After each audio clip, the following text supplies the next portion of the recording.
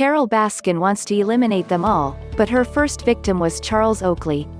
The 56-year-old former professional basketball player couldn't win against Baskin's killer moves and was the first competitor to be eliminated on Dancing with the Stars DWTS Season 29. Oakley and his partner, professional dancer Emma Slater, danced to the rhythm of the Luther Vandross song Never Too Much. However, the judges though their performance deserved a score of 15 points out of 30. The Big Cat Rescue owner scored 16 points after dancing the Viennese waltz to Tom Jones' What's New Pussycat and joined Oakley as the bottom two. Both acts faced each other, but the judges Carrie Ann Inaba and Derek Hough decided to save the 59-year-old Big Cat rights activist. Despite her score, Baskin showed happiness and received positive comments from the judges who said she was shining. However, the audience expressed they didn't like she had a higher score than 18-year-old actress Skai Jackson, who had problems during the routine. The fact that she got a higher score than Skai is an injustice. She's not even close to the caliber of Skai and the scoring tonight was ridiculous. Do better judges.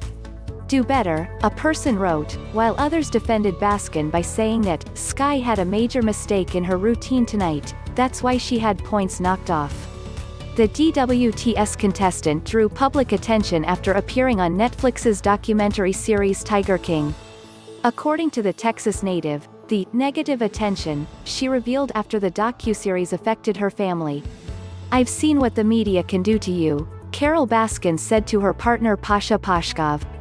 And I hate that I try even harder to be strong in their presence. I keep it inside and wait until everybody's gone before I can break down. I don't know how to make it better.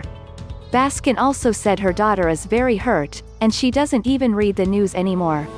It is important to note that following the series' release, the cat lover has been the subject of conspiracy theories that, with insufficient evidence, claim that she has something to do with the disappearance of Don Lewis, her second husband.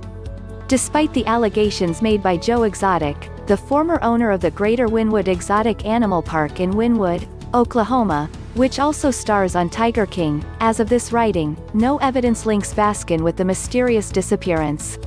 The Dancing with the Stars competitor hopes that the audience can perceive who she really is or at least a more positive image through the show.